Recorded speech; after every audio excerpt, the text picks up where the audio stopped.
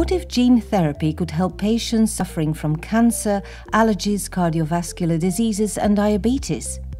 Kaneka Eurogentec, with 305 employees in two plants in Liège Science Park, found a solution to improve the development and the production process of plasmid DNA, a new generation of medicine.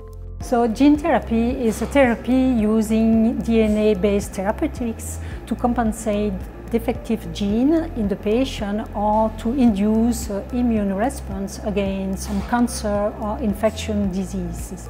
And the innovation at Eurogentec was to develop a manufacturing process to produce some pieces of DNA to be used in gene therapy.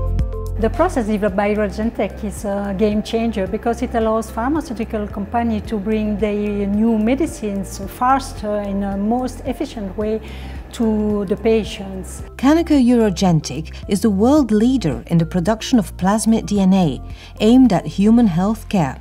Currently, the company is extending its production capacity in Seraing.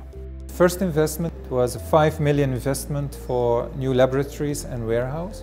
The second investment is a 45 million investment for a new production facility.